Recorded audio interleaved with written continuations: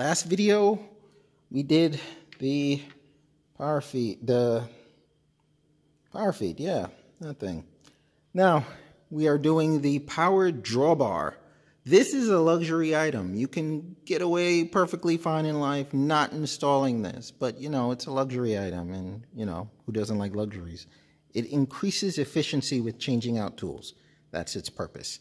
Now, let's look at the kit and see how we're going to mount this thing. So here's the kit.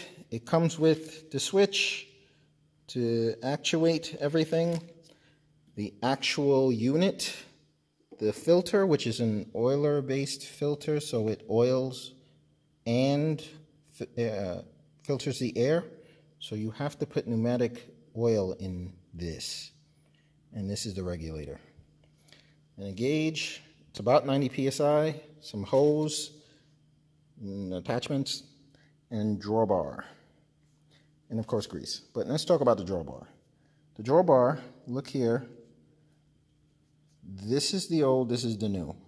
This takes a regular, I think, three quarter something.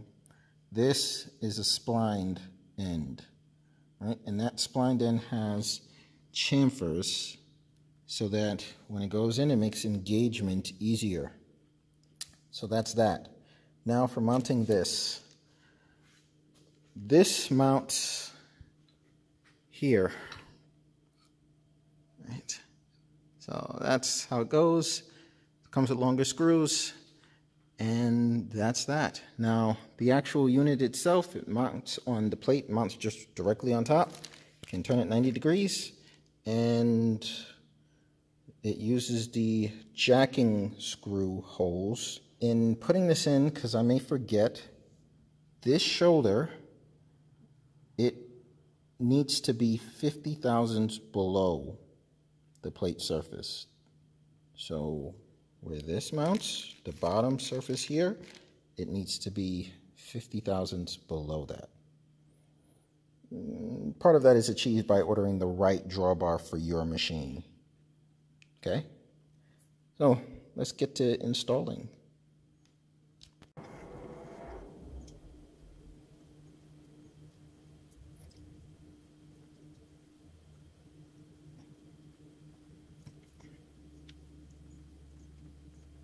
Okay, so I took this plate off and reoriented it. You could see where it used to be. And that way it fits nicely like so. Remove these two screws. Now, in the kit, it actually has some longer screws that replace these. So I noticed that even though these four were the same length, the threads were different. So you need to use these.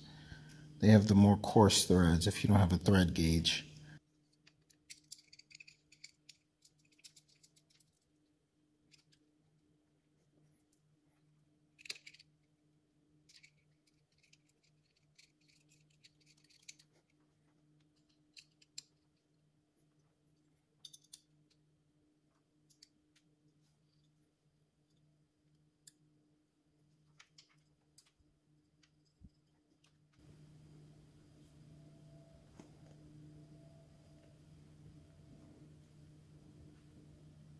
Okay, so I found that this orientation works best to get out of the way of the quill feed. And yeah, it looks slick right there, like it was designed to be that way. So that's there. Let's see what we got to do to the drawbar.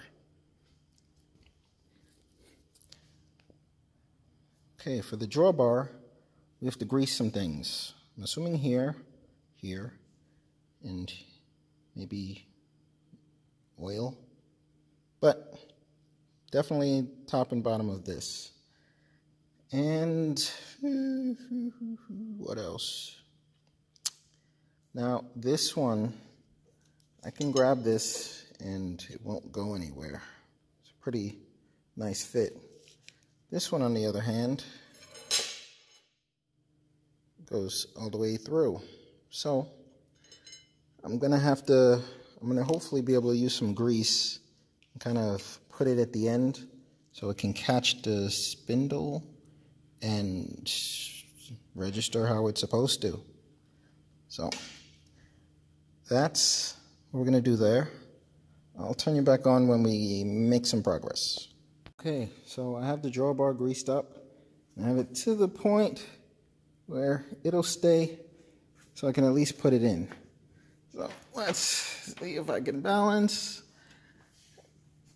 Yeah. All right, so we have to get that in here and then test whether or not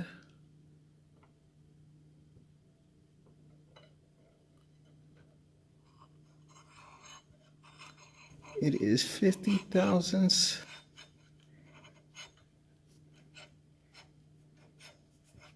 below. Okay, that feels pretty good.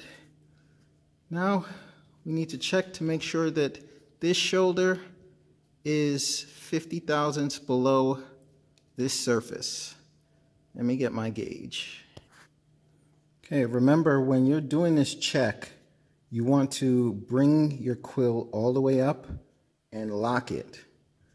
All right, so come here. Uh, this is already set uh, around 50-ish, and we're about, we're good. Yeah. Yep, so we're good there. The way that the unit mounts is that there's some jack screws that's normally used to take off these plates. So you take these three, believe they're quarter 20 screws out, and then you move them to these holes and you can walk this plate off almost. So we're going to use those to mount the Torque-Rite pneumatic assembly. But they come with screws for this, so you don't have to worry about taking anything off here. The only thing is that I have to grease this. So I can't hold the camera and do this at the same time, so I'll turn you back on when this is on so you can see what it looks like. Okay, this is how it looks installed and good to go. So we are all locked in here. We're locked in here. Now it's just a matter of the air filter and the line. All right, let's see how those route. Okay, so we have this hooked up. This is just going to nowhere. These are the two important ones. So this in, that right there. The line to the left, the one that looks like this on the unit, it is the in. So that goes in here and then goes here. And this one goes to the opposite. So that's how that mounts. It's looking like an assembly.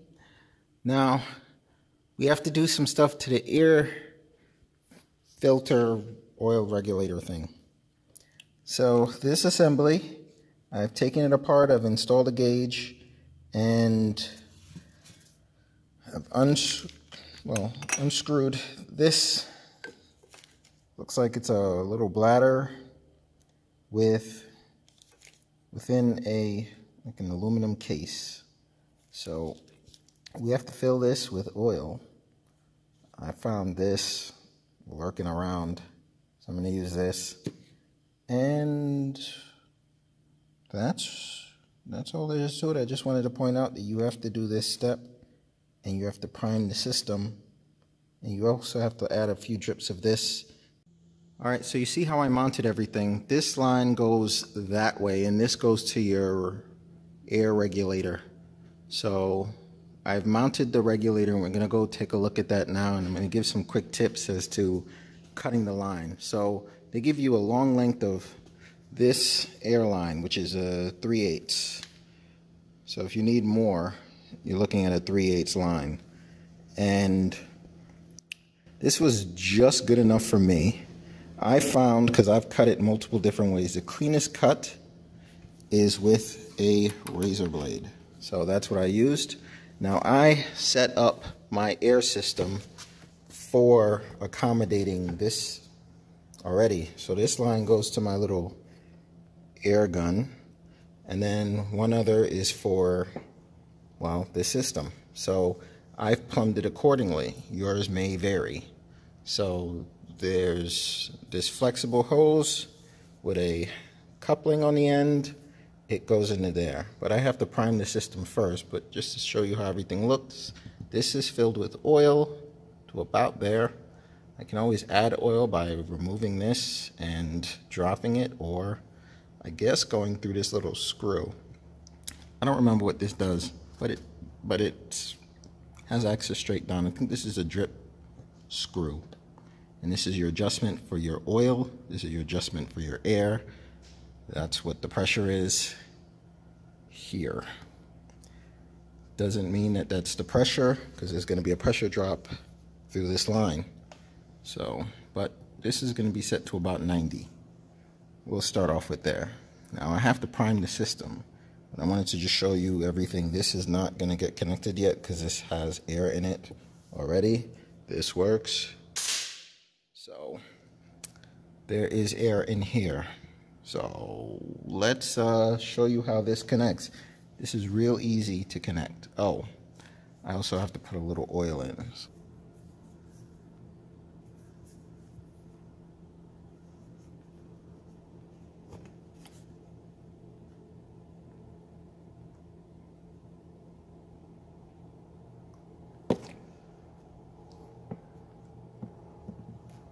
I want to show you how quickly these connect. This is a quick connect system.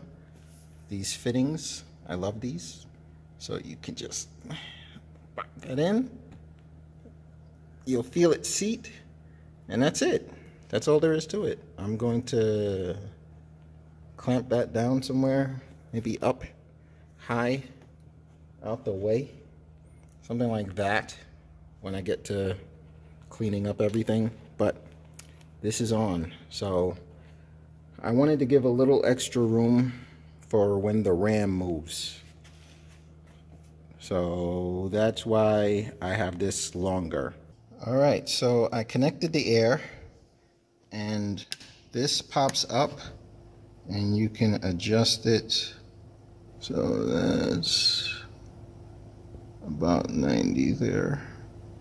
I have to turn this counterclockwise to 9, which is trying to see over the camera about there. Okay, so that's the 9 o'clock position counterclockwise. That opens it up, and then you're going to see some drips. I'm going to just push the in and out button, and then you'll see some drips. We're looking for about 7.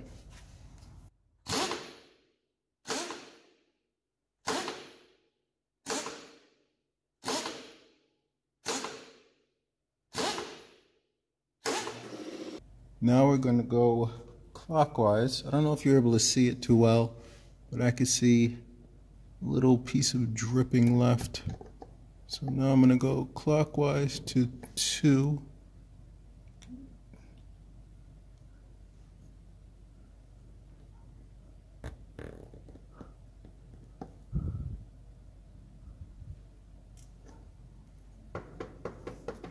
All right, so we're primed.